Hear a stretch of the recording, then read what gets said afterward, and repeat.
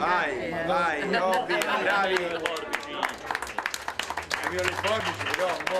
Territorio, accoglienza, risposte, diritti. Sono le parole d'ordine del lavoro quotidiano delle leghe dello SPCGL, anche in Toscana. Inaugurare una nuova sede, come accaduto lo scorso 21 giugno a Prato, è insieme una festa e un impegno per il presente e il futuro. Noi abbiamo un sindacato che in Toscana conta circa 260.000 iscritti, persone anziane, persone che però hanno svolto un'attività lavorativa per una vita, persone che oggi presentano necessità da dover eh, in qualche maniera avere una risposta. Noi lo facciamo attraverso appunto i servizi e non solo, ma lo facciamo a partire da quest'anno anche sperimentando l'apertura di sportelli sociali sociali dove gli anziani e le loro famiglie possano trovare risposte anche a problemi di non autosufficienza intendendo la possibilità di capire dove e da chi rivolgersi per avere risposte ai problemi impellenti e che qualche volta creano anche grosse difficoltà alle loro famiglie.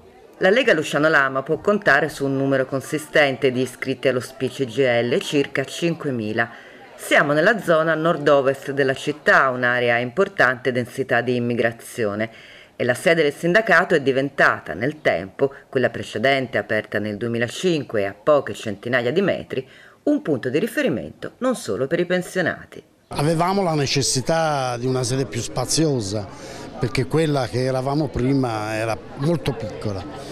Abbiamo preso questa decisione e in due mesi abbiamo venduto, comprato, ristrutturato e resa operativa la sede.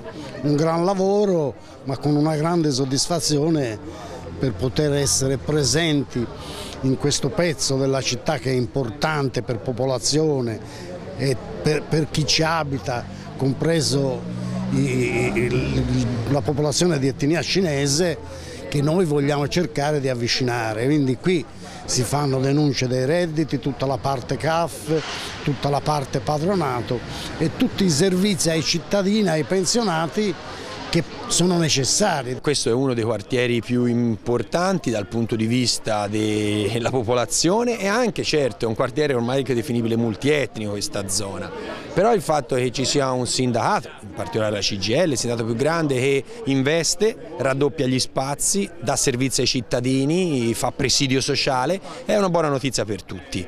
In questo caso, in questa apertura c'è un valore ancora più importante perché attraverso le nostre sedi possiamo fare un altro tipo di servizio eh, fondamentale che è quello attraverso la solidarietà e la presenza rispondere a esigenze anche di integrazione con cittadini, magari anche anziani, ma che provengono da etnie diverse dalla nostra e non solo, anche eh, cittadini più giovani, ma questo è un servizio che possiamo fare solo se siamo sul territorio e possiamo rispondere alle, ai bisogni delle persone.